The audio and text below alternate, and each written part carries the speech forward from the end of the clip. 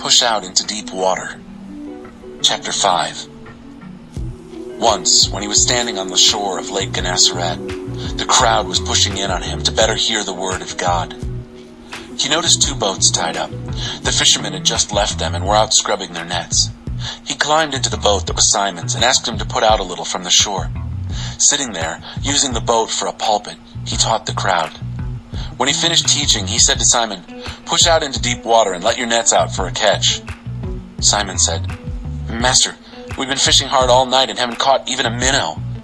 But if you say so, I'll let out the nets. It was no sooner said than done.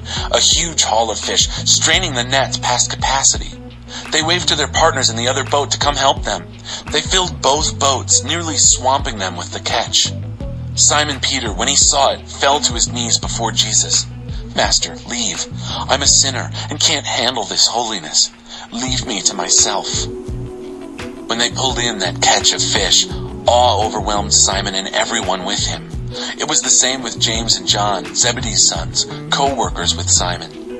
Jesus said to Simon, There is nothing to fear. From now on, you'll be fishing for men and women. They pulled their boats up on the beach, left them, nets and all, and followed him. Invitation to a changed life. One day in one of the villages, there was a man covered with leprosy. When he saw Jesus, he fell down before him in prayer and said, If you want to, you can cleanse me. Jesus put out his hand, touched him, and said, I want to. Be clean. Then and there his skin was smooth, the leprosy gone. Jesus instructed him, Don't talk about this all over town. Just quietly present your healed self to the priest, along with the offering ordered by Moses. Your cleansed and obedient life, not your words, will bear witness to what I have done. But the man couldn't keep it to himself, and the word got out. Soon a large crowd of people had gathered to listen and be healed of their ailments. As often as possible, Jesus withdrew to out of the way places for prayer. One day as he was teaching, Pharisees and religion teachers were sitting around. They had come from nearly every village in Galilee and Judea, even as far away as Jerusalem, to be there. The healing power of God was on him. Some men arrived carrying a paraplegic on a stretcher. They were looking for a way to get into the house and set him before Jesus. When they couldn't find a way in because of the crowd, they went up on the roof, removed some tiles, and let him down in the middle of everyone, right in front of Jesus. Impressed by their bold belief, he said, Friend, I forgive your sins. That set the religion scholars and Pharisees buzzing. Who does he think he is? That's blasphemous talk. God and only God can forgive sins. Jesus knew exactly what they were thinking and said, Why all this gossipy whispering? Which is simpler, to say, I forgive your sins, or to say, Get up and start walking? Well, just so it's clear that I'm the Son of Man and authorized to do either or both, he now spoke directly to the paraplegic. Get up, take your bedroll, and go home. Without a moment's hesitation, he did it, got up, took his blanket, and left for home, giving glory to God all the way. The people rubbed their eyes, incredulous, and then also gave glory to God. Awestruck, they said, We've never seen anything like that. After this, he went out and saw a man named Levi at his work, collecting taxes. Jesus said, Come along with me. And he did, walked away from everything and went with him. Levi gave a large dinner at his home for Jesus. Everybody was there, taxmen and other disreputable characters, as guests at the dinner. The Pharisees and their religion scholars came to his disciples greatly offended. What is he doing eating and drinking with crooks and sinners? Jesus heard about it and spoke up. Who needs a doctor? The healthy or the sick? I'm here inviting outsiders, not insiders. An invitation to a changed life, changed inside and out. They asked him, John's disciples are well known for keeping fasts and saying prayers, also the Pharisees. But you seem to spend most of your time at parties. Why?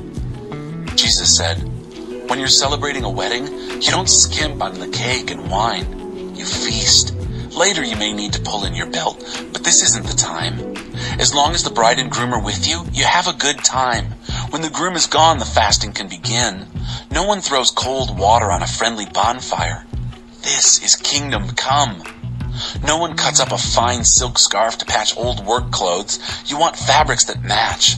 And you don't put wine in old, cracked bottles. You get strong, clean bottles for your fresh, vintage wine. And no one who has ever tasted fine, aged wine prefers unaged wine.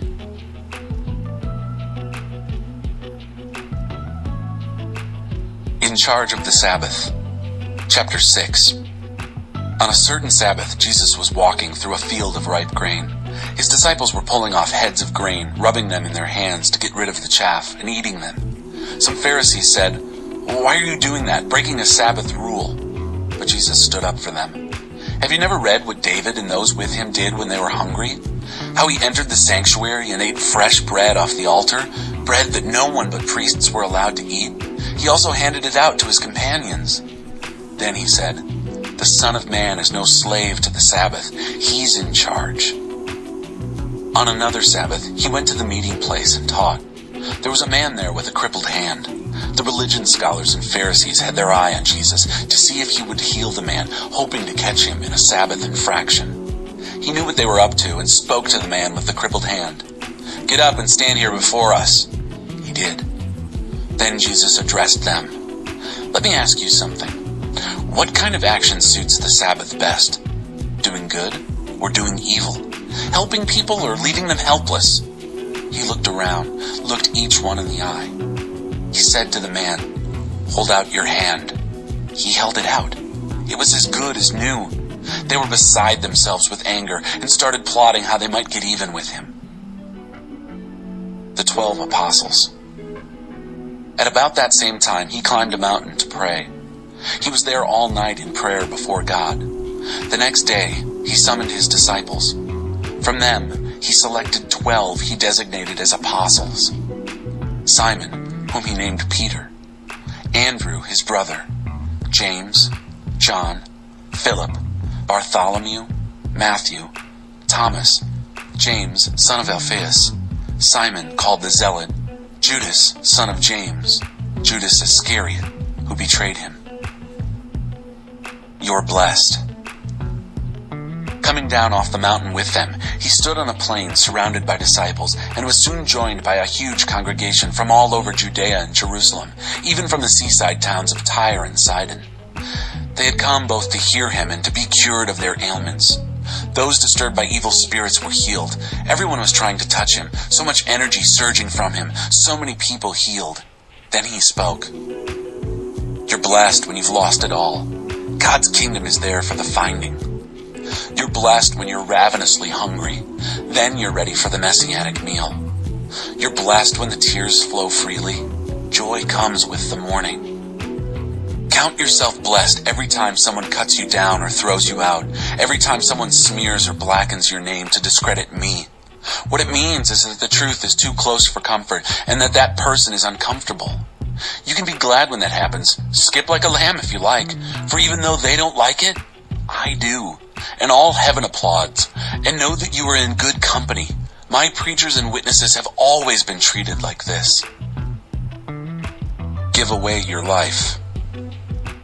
But it's trouble ahead if you think you have it made. What you have is all you'll ever get. And it's trouble ahead if you're satisfied with yourself. Yourself will not satisfy you for long. And it's trouble ahead if you think life's all fun and games. There's suffering to be met, and you're going to meet it. There's trouble ahead when you live only for the approval of others, saying what flatters them, doing what indulges them. Popularity contests are not truth contests. Look how many scoundrel preachers were approved by your ancestors. Your task is to be true, not popular. To you who are ready for the truth, I say this. Love your enemies. Let them bring out the best in you, not the worst. When someone gives you a hard time, respond with the energies of prayer for that person. If someone slaps you in the face, stand there and take it. If someone grabs your shirt, gift wrap your best coat and make a present of it. If someone takes unfair advantage of you, use the occasion to practice the servant life. No more tit for tat stuff. Live generously. Here is a simple rule of thumb for behavior. Ask yourself what you want people to do for you. Then grab the initiative and do it for them. If you only love the lovable, do you expect a pat on the back? Run of the mill sinners do that. If you only help those who help you, do you expect a medal? Garden variety sinners do that. If you only give for what you hope to get out of it, do you think that's charity? The stingiest of pawnbrokers does that. I tell you, love your enemies. Help and give without expecting a return. You'll never, I promise, regret it. Live out this God created identity the way our Father lives toward us, generously and graciously, even when we're at our worst. Our Father is kind. You be kind. Don't pick on people, jump on their failures, criticize their faults, unless, of course, you want the same treatment. Don't condemn those who are down. That hardness can boomerang. Be easy on people. You'll find life a lot easier. Give away your life. You'll find life given back. But not merely given back, given back with bonus and blessing. Giving, not getting, is the way. Generosity begets generosity. He quoted a proverb. Can a blind man guide a blind man? Wouldn't they both end up in the ditch? An apprentice doesn't lecture the master. The point is to be careful who you follow as your teacher. It's easy to see a smudge on your neighbor's face and be oblivious to the ugly sneer on your own. Do you have the nerve to say, let me wash your face for you when your own face is distorted by contempt? It's this I know better than you mentality again, playing a holier than thou part instead of just living your own part. Wipe that ugly sneer off your own face and you might be fit to offer a washcloth to your neighbor. Work the words into your life. You don't get wormy apples off a healthy tree, nor good apples off a diseased tree.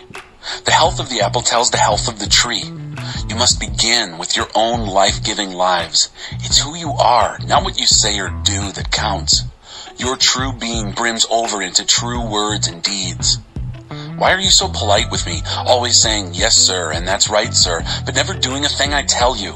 These words I speak to you are not mere additions to your life, homeowner improvements to your standard of living.